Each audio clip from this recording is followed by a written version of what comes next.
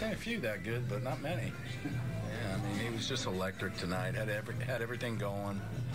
Um, I mean, seven innings of no-hit baseball and eight innings, 16 punch-outs, one walk. It's pretty special. Could you tell early on that, that he that kind of stuff?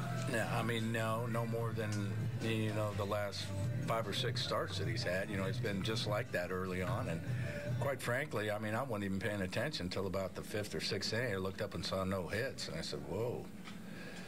Uh, you know, and then we got, you know, through the seventh, and that's probably as far as I've ever been as a manager with a no hitter. And I'm looking at pitch counts, and I'm thinking, you know, at that time it was a one, you know, a one run lead, and we could just pack on some more runs because I darn sure don't want to get anybody up in the bullpen when he's got a no hitter going. It's kind of bad karma in my mind. So luckily we scored a couple more runs and you know, we were in good shape, and I wasn't worried about the pitch count. If he got through the eighth, he was going back out.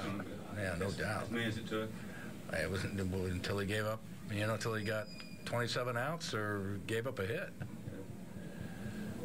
Um, what what stood about it out about his stuff tonight? Other, I mean, you said it's normally like it is, but was there anything that just stood out about? No, I mean, just was excellent stuff with three pitches and he was banging strikes. Had a tremendous fastball that he was throwing strikes with. Had a really good changeup and a really good slider. He just had it all going. But you know, his last six or seven starts, he's been you know the same just about. You know, he's been really very, very consistent and very, very solid. This wasn't just no hit stuff. It almost looked unhittable because I mean, they, they, were having trouble putting ball play. Yeah, yeah. Well, I mean, yeah, when you strike out 16 times, but.